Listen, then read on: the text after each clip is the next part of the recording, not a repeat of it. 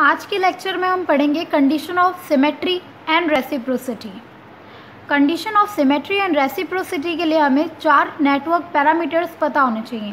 Z parameter Y parameter H parameter and A B C D parameter चार तरह के network parameters होते हैं तो वो नेटवर्क पैरामीटर्स के बारे में बेसिक नॉलेज हमें होनी चाहिए condition of reciprocity and symmetry को फाइंड आउट करने के लिए। ये टॉपिक थोड़ा सा टाइम कंज्यूमिंग हो सकता है, इसलिए मैंने ये पहले से ही लिख कर रखा है ताकि मेरे लिखने में आपका टाइम वेस्ट ना हो। इसलिए पहले से ही मैंने ये लिख कर रखा है। तो आइए देखते हैं brief description network parameters representation का। सबसे पहला पैरामीटर होता है हमारे पास जेड पैरामीटर्स जिसको क्या बोलते हैं? ओपन सर्किट इम्पीडेंस पैरामीटर्स भी कहा जाता है। क्या होता है ये? सपोज़ हमारे पास एक ये सर्किट है। इनपुट पोर्ट पे हमने V1 वोल्टेज अप्लाई किया है, जिसके कारण I1 करंट डेवलप हो रहा है। आउटपुट वोल्टेज में V2 वोल्टेज डेवलप हुआ है, जिसके कारण करंट I2 है। Z होता क्या है? इम्पीडेंस होता है, जो कि एक तरह के रेजिस्टेंस की तरह ही माना जाता है। तो इसलिए for two port network input and output voltages V1 and V2 can be expressed in the terms of input and output current I1 and I2 respectively as. V equal to I R होता है, हम सभी जानते हैं ये। तो इस V को हम I की टर्म्स में किस किस तरीके से रिप्रेजेंट करेंगे? V equal to I R की जगह Z बिकॉज़ Z यानी कि इम्पीडेंस भी एक तरह का रेजिस्टेंस होता है। तो V equal to I Z लिख लिया। मैट्रिक्स की फॉर्म है ये सारे।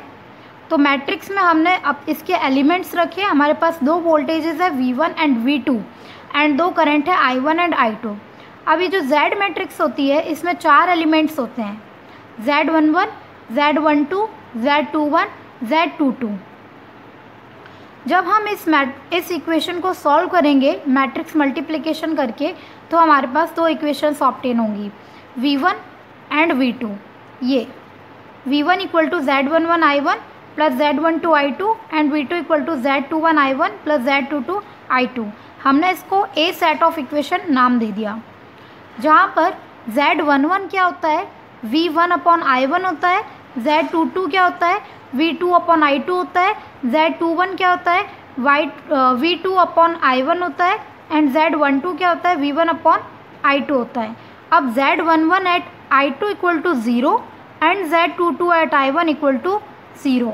ये कहलाते हैं input and output driving point impedances respectively ये इनपुट ड्राइविंग पॉइंट इम्पिडेंस और ये output driving point impedance while Z one two at I one equal to zero and Z two one at I two equal to zero इसको कहते हैं reverse and forward transfer impedances respectively तो ये हमारा overview हुआ Z parameter का। Next आता है वाई पैरामीटर जिसे हम शॉर्ट सर्किट एडमिटेंस पैरामीटर्स भी कहते हैं। तो ये क्या होते हैं? In a two port network input current I one and I two can be expressed in the terms of input and output voltages V one and V two respectively अब इसमें तो हमने जेड पैरामीटर में तो हमने V को I के terms में एक्सप्रेस किया था। वाई पैरामीटर में हमें आई को वी के टर्म्स में एक्सप्रेस करना होता है। और वाई जो होता है, ये एडमिटेंस कहलाता है, जो कि जेड का रेसिप्रोकल होता है, यानी कि इम्पिडेंस का रेसिप्रोकल होता है admittance y equal to one by Z होता है. एंड y एक ये यहाँ पर क्या है ये? एडमिटेंस मैट्रिक्स है. तो इसी रिलेशन से, v equal to I R relation से, हम i को डराइव करेंगे. I equal to Y into V यानी कि i equal to V by R होता है. तो वन बाय आर क्या होता है? Y, यानी कि वन बाय जेड क्या होता है? Y तो I equal to Y into V so इसमें भी हम इसके एलिमेंट्स रख देंगे मैट्रिक्स के। आई वन आई टू रखा आई की आई मैट्रिक्स में और वी वन वी टू रखा एलिमेंट वी मैट्रिक्स में। एंड जो वाई मैट्रिक्स है हमारी एडमिटेंस मैट्रिक्स जो है, इसके चार एलिमेंट्स होंगे। Y one one Y one two Y two one Y two two ये इक्वेशन हमें याद रखनी है। एंड देन इस इक्वेशन को जब हम खोलेंगे मैट्रिक्स मल्टीप्लिकेशन करके तो हमारे पास दो इक्वेशंस ऑप्टेन होंगी। I one and I two की। I one equal to Y one one V one plus Y one two V two and I two equal to Y two one V one plus Y two two V two इस set of equation को हमने नाम दे दिया B जहाँ पर Y one one equal to क्या होता है? I one upon V one and Y two one equal to क्या होता है? I two upon V one and Y one two equal to I one upon V two Y two two equal to I two upon V two होता है. And Y one one at V two equal to zero and Y two two at V one equal to zero इसे हम कहते हैं input and output driving point admittance respectively while Y one two equal to I one upon V two at V one equal to zero and Y two one at V two equal to zero इन दोनों को हम कहते हैं reverse and forward transfer admittance next third number parameter हमारे पास आता है hybrid parameter जिसको एच पैरामीटर रिप्रेजेंटेशन कहा जाता है। इसकी स्टैंडर्ड इक्वेशंस जो होती है मैट्रिक्स इक्वेशन वो ये होती है। V one I two equal to H one one H one two H two one H two two और दूसरी मैट्रिक्स यहाँ पे मल्टीप्लिकेशन में इसके साथ क्या होगा? I one V two so जब हम इस मैट्रिक्स इक्वेशन को ओपन करेंगे, मल्टीप्लिकेशन करके तो हमारे पास दो आएँगी इक्वेशन, एक वी वन की आएगी एंड एक आई टू की इक्वेशन आएगी। तो इस सेट ऑफ़ इक्वेशन को हमने नाम दे दिया सी जहाँ पर एच वन वन क्या होता है? V one upon I one होता है एच टू वन क्या होता है? I two upon I one होता है H one two equal to क्या होता है? V one upon V two and H two two equal to I two upon V two होता है। And H one one at V two equal to zero and H two one at V two equal to zero are input impedance and forward current gain while H one two at I one equal to zero and H two two at I one equal to zero are reverse voltage gain and output impedance fourth parameter is A B C D parameter that are also called transmission parameters इसकी matrix equation जो होती है, वो ये याद रखनी है हमें। That is V one I one is equal to A B C D matrix multiply by V two and minus I one that is minus I one then हम इसको मल्टीप्लीकेशन करके ओपन करेंगे तो V one and I one की दो equations हमें मिलेंगी ये। सेट ऑफ़ इक्वेशन को नाम दे दिया हमने डी ये स्टैंडर्ड इक्वेशंस है A B C D where A equal to V one upon V two B equal to V one upon minus I two C equal to I one upon V two D equal to I one upon minus I two and A is reverse voltage ratio B is transfer impedance C is transfer admittance and D is reverse current ratio तो ये network parameters का एक introduction था, जो कि हमारे लिए ज़रूरी है condition of symmetry and reciprocity को पढ़ने के लिए।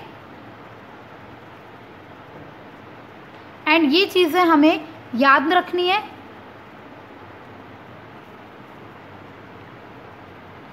Now condition of reciprocity and symmetry हम पढ़ेंगे in two port parameter representation सबसे पहले डेफिनेशन देखते हैं इनकी। रेसिप्रोसिटी की definition a network is term to be reciprocal if ratio of response variable to excitation variable remains identical if even if positions of response and excitation in the network are interchanged मतलब क्या होता है इसका?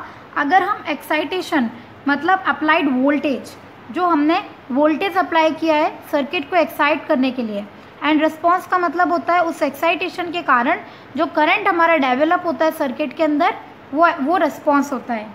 तो अगर हम excitation यानी कि अप्लाइड वोल्टेज एंड रिस्पॉन्स यानी कि डेवलप्ड करंट दोनों की पोजिशंस को इंटरचेंज कर देंगे।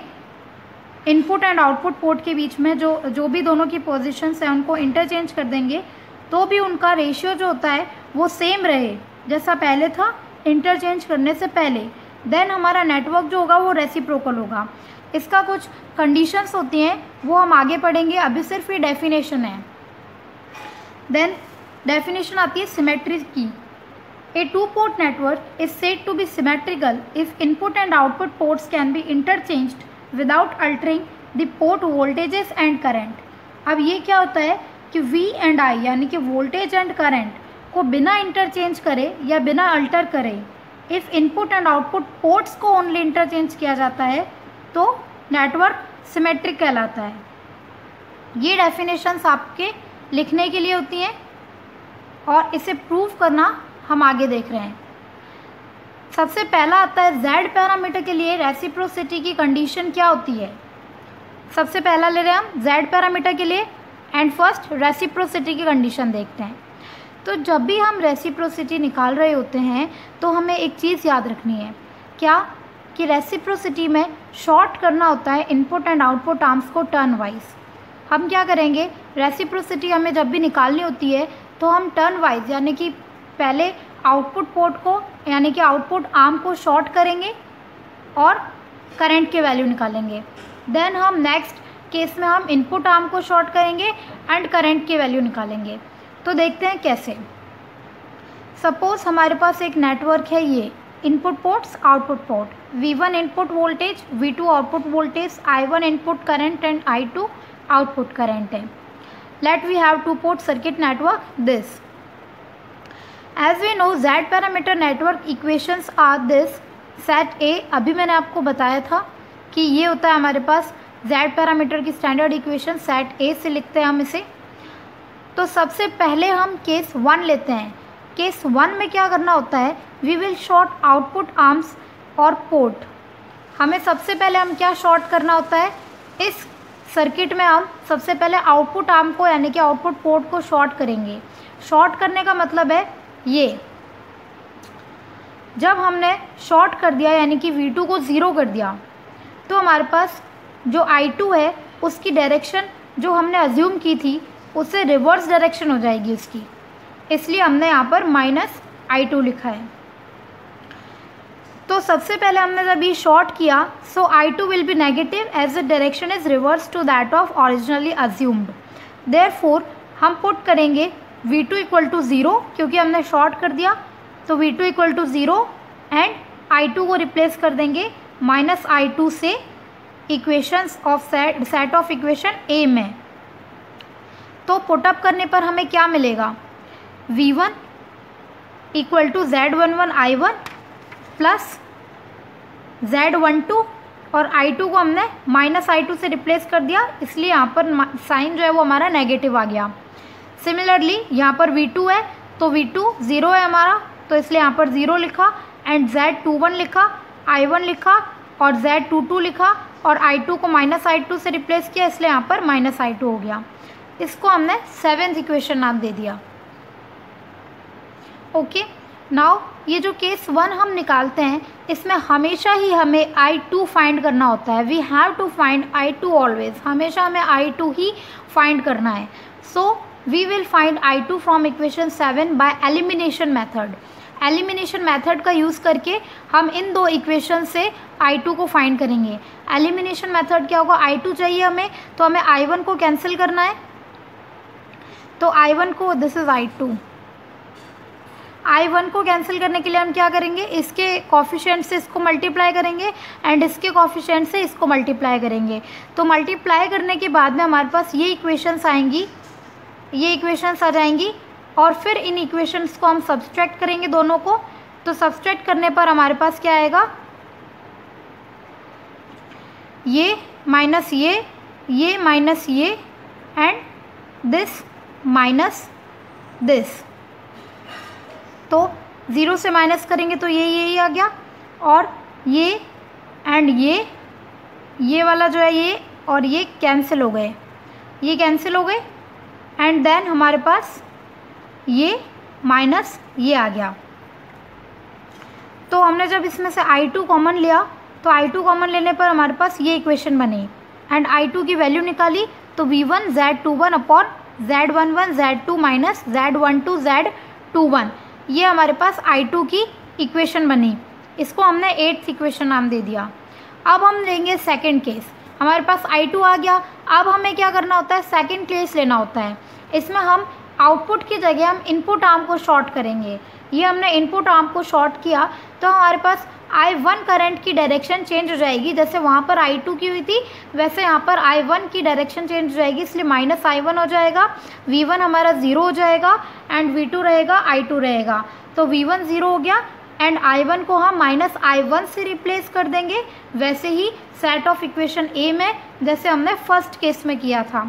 सो so, हम पुट करेंगे V one equal to zero and I one की जगह minus I one in equation A so equation A में हमें पुटअप करने पर क्या मिल जाएगा?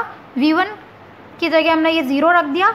Equal to Z one one I one होता है तो आई वन को हमने माइनस आई वन से रिप्लेस किया था इसलिए यहाँ पर माइनस आ जाएगा। और plus Z one two I two वैसे ही रहेगा। नेक्स्ट इक्वेशन क्या थी? V two equal to Z two one I one था। आई वन को रिप्लेस किया। माइनस आई वन से इसलिए माइनस आ गया। And plus Z two two I two इसको हमने नाइन्थ नंबर इक्वेशन नाम दे दिया। अब ये जो सेकेंड केस होता है, इसमें हमेशा हमें आई वन फाइंड करना होता है। ऑलवेज आई वन फाइंड करना होता है हमें। तो हम आई वन निकालेंगे इस नाइन्थ इक्वेशन से।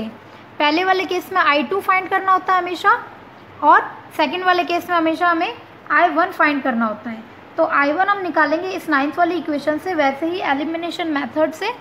तो हमें आई वन चाहिए तो इस बार क्या करेंगे आई टू के कॉफिशेंट से एक दूसरे की इक्वेशन को मल्टीप्लाई करेंगे, ताकि आई टू वाला कैंसिल हो जाए टर्म तो इसके कॉफिशेंट से इसको एंड इसके कॉफिशेंट से इस इक्वेशन को मल्टीप्लाई किया। तो मल्टीप्लाई करने के बाद हमारे पास ये दो इक्वेशंस बनी, एक ये और एक ये। ये दो इक्वेशंस बनी इन इक्वेशंस को जब हम सब्सट्रैक्ट करेंगे तो हमारे पास क्या आ जाएगा? Zero minus this is equal to this minus this plus this minus this तो ये और ये टर्म कट जाएगी और हमारे पास सिर्फ़ ये ये इक्वेशन रह जाएगी। जब हम इसमें से आई वन को कॉमन लेकर आई वन की वैल्यू निकालेंगे तो आई वन इक्वल टू क्या आ जाएगा? Minus V two Z one two upon Z one two Z two one minus Z one one, Z two two आ जाएगा। इसमें से हम माइनस कॉमन लेते हैं, देन ऊपर नीचे का माइनस काट देंगे तो हमारे पास ये आ जाएगा I one is equals to V two Z two one sorry Z one two upon Z one one Z two two minus Z one two Z two one इसको हमने टेंथ नंबर इक्वेशन नाम दे दिया। Now हमें compare करना होता है, जो हमने I one and I two निकाला है, उनको कंपेयर करेंगे हम। ये आई वन और आई टू जो है, ये इक्वल कब होंगे? अगर हम अज्यूम करते हैं कि वी वन और वी टू हमने इक्वल अप्लाई किया है तो ये जब इक्वल अप्लाई करने पर आई वन और आई टू कब इक्वल होंगे? जब Z two one and Z one two हमारा इक्वल होगा। तो ही आई वन और आई टू जो है, वो इक्वल हो पाएँगे। क्योंकि यहाँ पर हमारे पास क्या आई थी? ये आई वन की आई टू की वैल्यू आई थी V one Z two one यहाँ पर आई वन की वैल्यू आई थी V two Z two Z one two तो वी वन और वी टू हमने अगर सेम अप्लाई करें, यानी कि इक्वल अप्लाई करें तो ये तो इक्वल हो जाएँगे वी वी तो। और नीचे वाली टर्म्स जो है, ये वाली और ये वाली भी सेम ही है। तो हमारे पास बचा क्या? ये जेड टू वन बचा और जेड वन टू बचा। तो आई वन और आई टू कब इक्वल होंगे? जब ये Z one two and Z two one जो है वो इक्वल होंगे। तभी इक्वल होंगे। तो हमारे पास कंडीशन ऑफ़ रेसिप्रोसिटी क्या आ जाती है? कि Z one two equal to Z two one होगा तो ही हमारा जेड पैरामीटर का जो नेटवर्क है, वो रेसिप्रोकल होगा। तो this is the condition of reciprocity जो हमें हमेशा याद रखनी होती है। ये हो गया रेसिप्रोसिटी अब आता है हमारे पास सिमेट्री सिमेट्री में हमें क्या याद रखना है कि सिमेट्री में शॉर्ट नहीं ओपन करना होता है आर्म्स को टर्न वाइज जैसे रेसिप्रोसिटी में हमने किया था शॉर्ट वैसे ही यहाँ पर आर्म्स को ओपन करना होता है. यानी कि हम एक बार आउटपुट आर्म को ओपन करेंगे एंड नेक्स्ट टर्न में हम हम आ, इसको इनपुट आर्म को ओपन करेंगे. जैसे वहाँ पे शॉर्ट किया था वैसे यहाँ पर ओपन तो चलिए हम फ़र्स्ट केस लेते हैं. इसमें हम सबसे पहले आउटपुट आर्म को ओपन कर रहे हैं। तो हमने आउटपुट आर्म को ओपन कर दिया, यानी कि यहाँ पर कोई भी हमें वोल्टेज नहीं है हमारे पास। वोल्टेज नहीं है तो कोई करंट भी नहीं होगा यहाँ पर। Only V one and I one होगा। वी टू नहीं होगा तो कोई भी आई टू भी फ्लो नहीं होगा। देयर फोर वी वन वाली इक्वेशन होगी ए सेट में से ये होगी। क्यों? क्योंकि सिर्फ़ वी वन वाली ही कंसिडर कर रहे हैं। वी वन वाली क्यों कंसिडर कर रहे हैं? क्योंकि हमारे पास वी टू तो है ही नहीं और इस आई टू भी है नहीं। तो सिर्फ़ वी वन वाली इक्वेशन ही कंसिडर होगी। तो V one equal to this होता है और यहाँ पर हमारे पास I two equal to zero है। तो V one equal to Z one one I one आ जाएगा सिर्फ़। अब वोल्टेज एक ही है, हम इसे वी रख सकते हैं।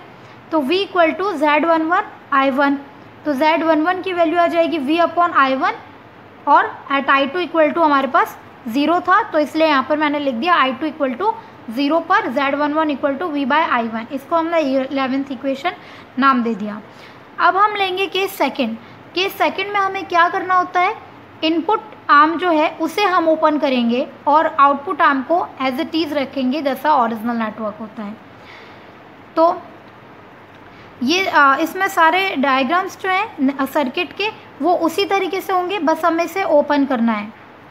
कि सेकंड में इनपुट आर्म को ओपन किया है। We will open input arm means हमारे पास वी वन नहीं होगा तो आई वन भी फ्लो नहीं होगा। Therefore V one equal to zero and I one equal to zero रखेंगे आप ए सेट इक्वेशन में। तो क्या आ जाएगा?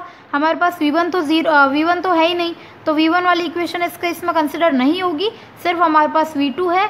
तो वी टू वाली इस केस में कंसिडर होगी equation that is V two equal to Z two one I one plus Z two two I two होता है। अब आई वन हमारे पास ज़ीरो है तो ज़ीरो पुटअप करेंगे तो हमारे पास क्या आ जाएगा? ओनली ये आ जाएगा V two equal to Z two two I two अब यहाँ पर भी वोल्टेज हमारे पास एक ही है, और वैसे भी हम एज्यूम कर सकते हैं कि अगर हमने V one and V two same apply किया तो हमारे पास इसको सिंगल वी लिख सकते हैं तो V equal to Z two two I two हो जाएगा।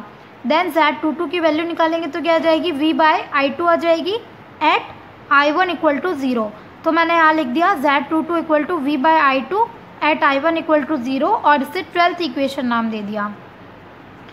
सो so, जब हम Z11 one one and Z two two को कंपेयर करके देखेंगे तो हमारे पास ये इक्वल कब होंगे?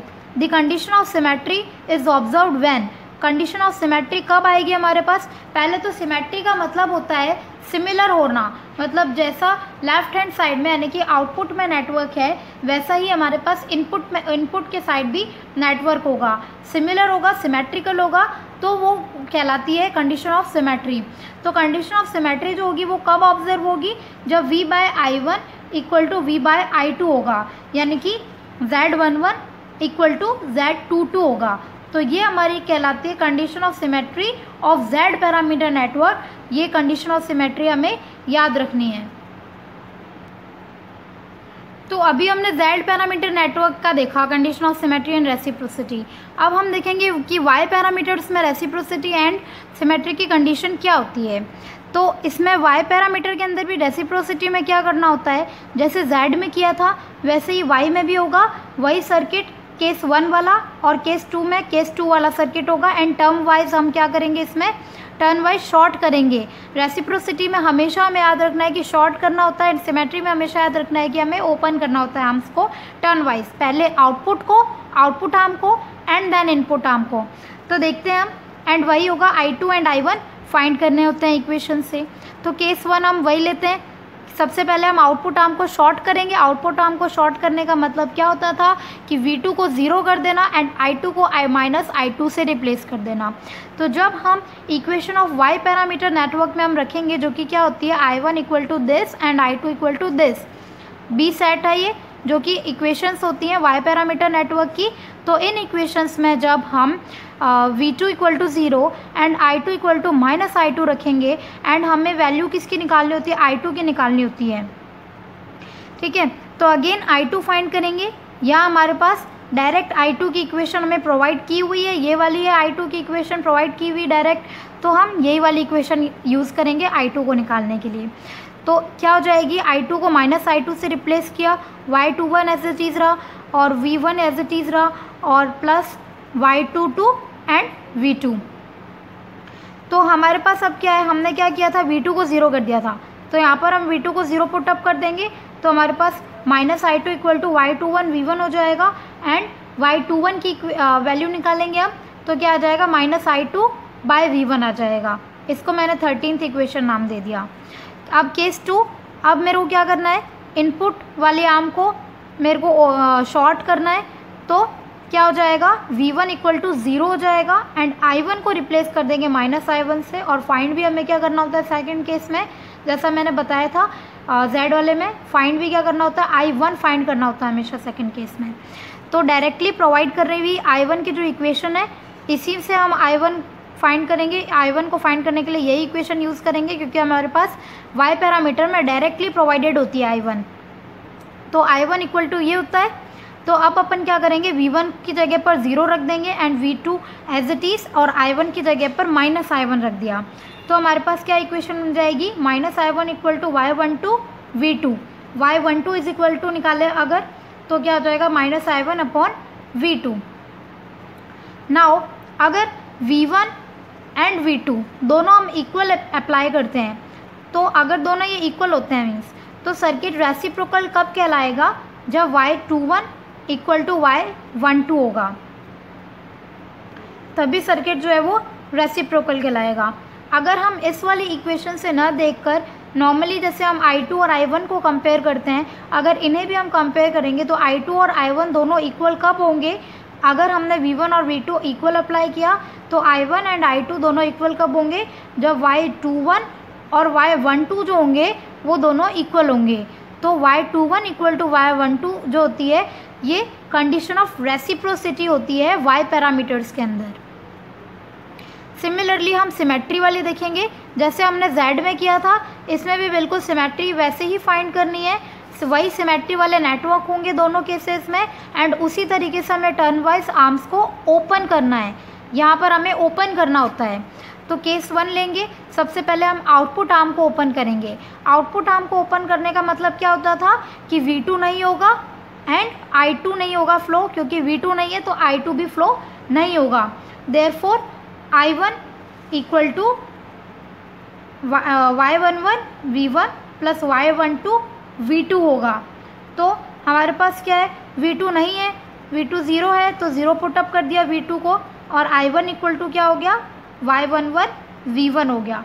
अगर हमने वाई वन वन की वैल्यू निकाली तो I one upon V one I fifteen equation नाम दे दिया इसको। केस सेकंड में हमें क्या करना होता है? इनपुट आर्म को ओपन करना होता है, यानी कि वी वन नहीं होगा and so I one flow नहीं होगा। तो इस केस में आई वन नहीं है तो हम सिर्फ़ आई टू की कंसिडर करेंगे। इसमें हमारे पास आई टू नहीं था, इसलिए सिर्फ़ आई वन की इक्वेशन जो है वो हमने कंसिडर की थी ये वाली, और इसमें आई टू नहीं है इसमें सॉरी आई वन नहीं है तो सिर्फ़ हम आई टू वाली इक्वेशन कंसिडर करेंगे। तो आई टू वाली इक्वेशन ये होती है नाउ वी वन इसमें ज़ीरो होता है तो वी वन की जगह यहाँ पर ज़ीरो पुट करेंगे तो ये तो पूरी ज़ीरो हो जाएगा और I two equal to Y two two V two आ जाएगा। अगर हम वाई टू टू की वैल्यू निकालें तो हमारे पास ये आ जाएगी सिक्सटीन इक्वेशन नाम दे दिया मैंने इसको।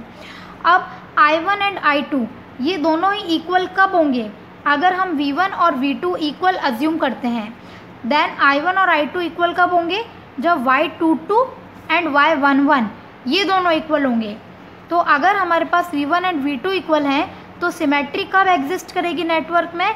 जब वाई टू टू और वाई वन वन इक्वल होंगे। So Y one one equal to Y two two हमारी आ जाती है condition of symmetry for Y parameter network so हमने वाई पैरामीटर नेटवर्क के बारे में पढ़ा। अब आता है हमारे पास third A B C D parameter A B C D parameter की जो स्टैंडर्ड इक्वेशन होती है, जो हमने डी नाम दिया था सेट ऑफ़ इक्वेशन को, वो होती है V one equal to A V two minus B I two and I one equal to C V two minus D I two अब इसमें भी रेसिप्रोसिटी निकालेंगे सिमेट्री कंडीशन निकालेंगे. तो रेसिप्रोसिटी के लिए इसमें भी वैसे ही करना है. हमें turn wise arms input arm and output arm को हमें शॉर्ट करना होता है and I two and I one find करना होता है. तो करते हैं. केस वन वही short the output arm short करेंगे। तो आउटपुट आर्म को शॉर्ट करने से क्या होता था? वी टू ज़ीरो हो जाता था एंड हमें आई टू फाइंड करना होता था। अब इसमें क्या होता है? एक ज़रूरी बात A B C D parameter के अंदर क्या होता है? जो आई टू होता है एंड आई वन होते हैं। जो केस वन और केस टू में हम I two and I one निकालेंगे, वो हमें माइनस से minus I two and I one से रिस्पेक्टिवली रिप्लेस नहीं करना होता है। माइनस मतलब इसके अपोजिट डायरेक्शन से रिप्लेस नहीं करना होता करेंट्स को। क्यों? क्योंकि ऑलरेडी हमने जो इक्वेशन बनाई थी जो इक्वेशन थी नेटवर्क पैरामीटर की स्टैंडर्ड इक्वेशन उसमें ऑलरेडी यहाँ पर माइनस आई टू ले रखा था। तो ये हमें याद रखना एक नोट कि हमें कभी भी A B C D parameter के अंदर करंट को नेगेटिव साइन से रिप्लेस नहीं करना होता मतलब करंट की डायरेक्शन नहीं रिप्लेस करनी होती है। चेंज नहीं करनी होती है। सो so, अब देखते हैं केस वन जब हमने आउटपुट आर्म को शॉर्ट किया तो V two equal to zero हो गया। एंड हमें इस केस में क्या फाइंड करना होता है? हमेशा आई टू फाइंड करना होता है। तो अपन अपन ने क्या ली? से ये वी वन वाली इक्वेशन ली। तो V one equal to A और वी टू हमारे पास ज़ीरो रख दिया और माइनस बी और आई टू वैसा ही रहा। तो क्या आ गया? वी वन इक्वल टू ये तो ज़ीरो हो गया और माइनस का बी आई टू आ गया। तो हम अगर I two upon V one का रेशियो निकालना चाहें आई टू और वी वन का रेशियो निकालें तो क्या आ जाएगा? माइनस वन बाय बी ये सेवनटीन इक्वेशन मैंने लिख दी, इसको नाम दे दिया। केस सेकंड में हम, हमें क्या करना होता है? इनपुट आर्म को शॉर्ट करना होता है। इनपुट आर्म को शॉर्ट करने का मतलब क्या होता है? वी वन ज़ीरो कर देना एंड आई वन फाइंड करते हैं इस केस में हमेशा। तो हम यूज़ करेंगे आई वन वाली इक्वेशन इस केस में, क्योंकि हमें आई वन फाइंड करना है। तो आई वन वाली इक्वेशन हम यूज़ करेंगे इसमें। तो I one and V one वाली इक्वेशन को हमने यहाँ पर इसमें क्या करना है? आई वन वाली इक्वेशन तो यूज़ करनी ही करनी है और साथ में एक कंडीशन हमें वी वन की भी बना देनी है। तो वी वन वाली में जब हम रखते हैं, क्योंकि यहाँ पर हमने वी वन ज़ीरो कर दिया है तो वी वन को हम ज़ीरो रखेंगे और A V two minus B I two okay and next का एंड नेक्स्ट जो है हमारी ये वाली equation I one equal to C V two minus D I two है। अब ये वाली कंडीशन हमने इसमें क्यों यूज़ ली ये वाली इक्वेशन क्योंकि हमें आई टू की वैल्यू आई वन की इक्वेशन में रिक्वायर्ड थी। इसलिए आई टू की आई टू की वैल्यू हमने इसमें से निकाल ली सबसे पहले यहाँ पर और इस आई टू की वैल्यू को हमने इस आई वन की इक्वेशन में पुट कर दिया ताकि हमारे पास आई वन की वैल्यू फाइंड आउट हो जाए।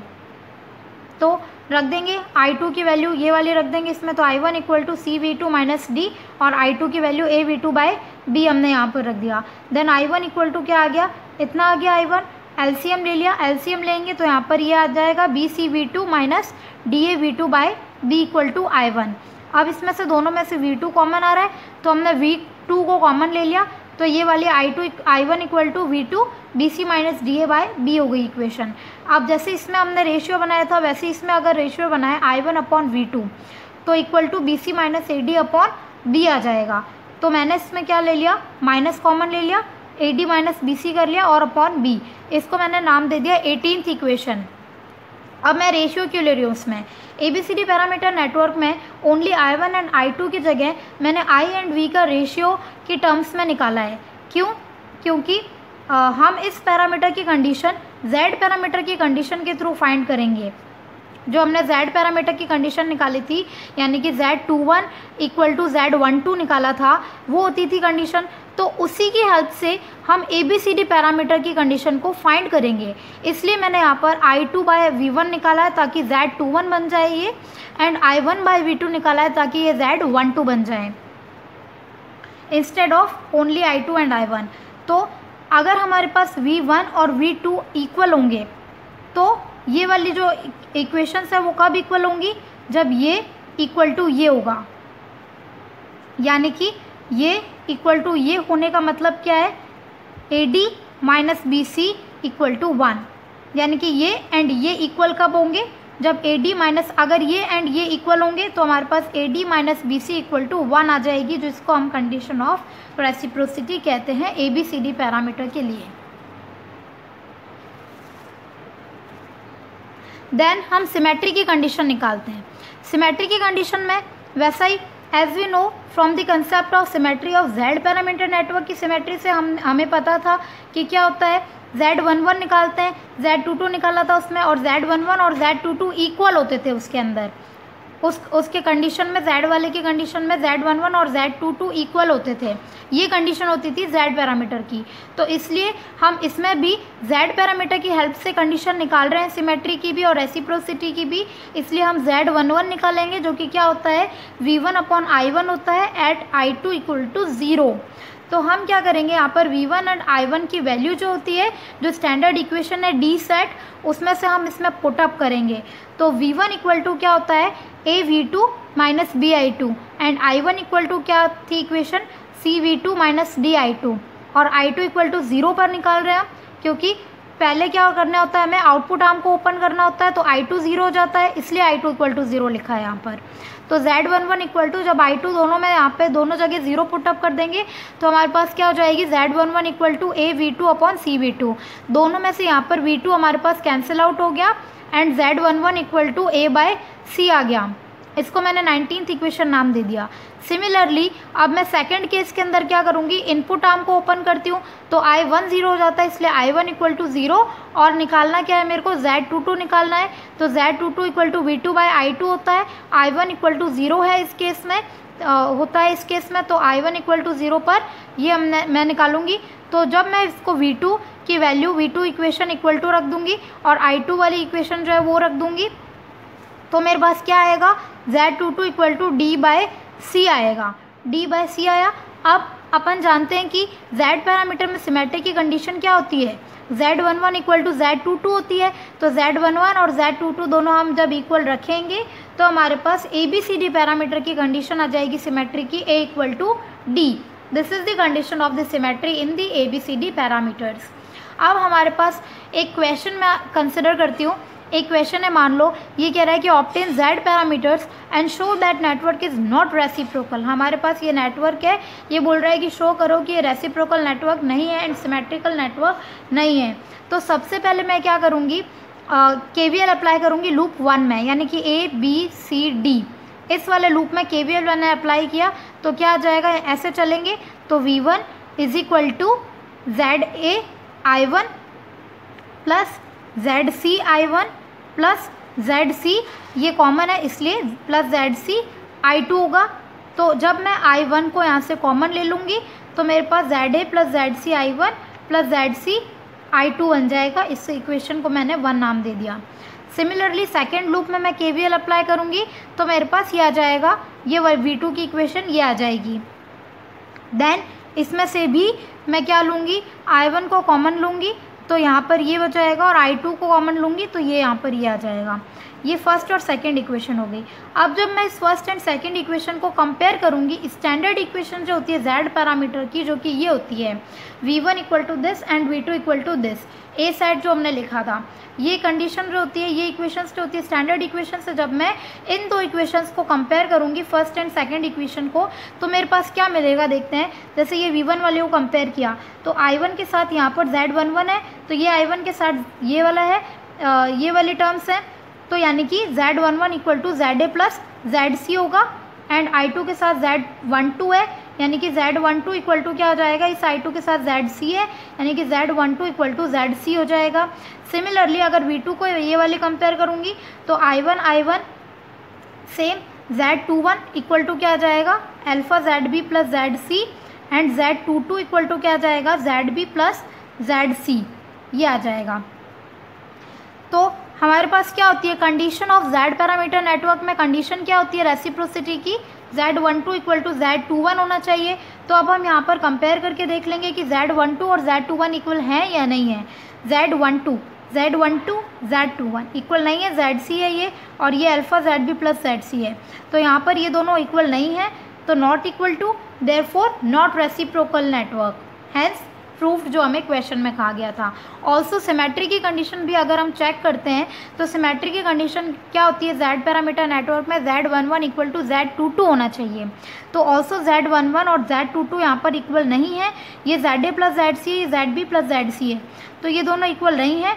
तो ऑल्सो ये क्या होगा? इक्वल नहीं होंगे, इसलिए ये सिमेट्रिकल नेटवर्क भी नहीं होगा। इस तरीके से हम कंडीशंस निकालते हैं रेसिप्रोसिटी की एंड सिमेट्री की एंड ऑल्सो अगर कोई क्वेश्चन होता है तो इस तरीके से इसको फाइंड आउट करते हैं। Thank you